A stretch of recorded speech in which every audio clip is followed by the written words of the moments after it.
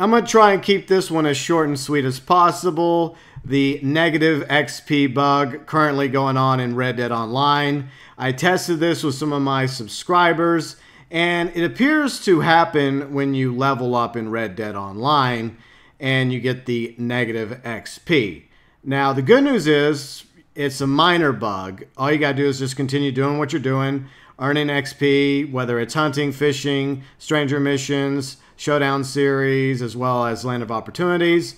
And once you get the negative XP whittled down to zero, you will level up again. So I went from rank 41 to rank 42. Now I still have negative XP, but it appears to be a minor bug, and a lot of us have obviously notified Rockstar via Twitter, such as James, who currently is rank 147.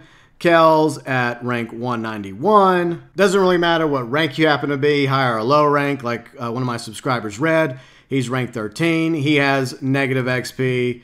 Another one of my subscribers, Cormac, he's rank 41 as well. He also has negative XP. Now, the good news is twofold. One, obviously, Rockstar is going to fix this minor issue.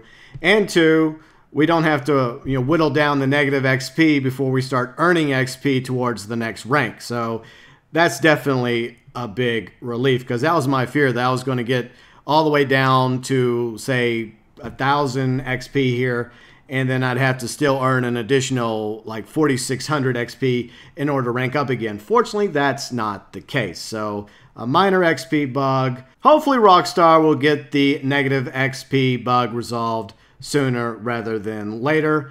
It is kind of annoying though. If you have experienced the negative XP bug, feel free and let us know below in the comments section. If you're new to the channel, I cover Red Dead Online as well as Grand Theft Auto Online. I also stream both games, and you are welcome to subscribe and join the GeauxBurns Nation.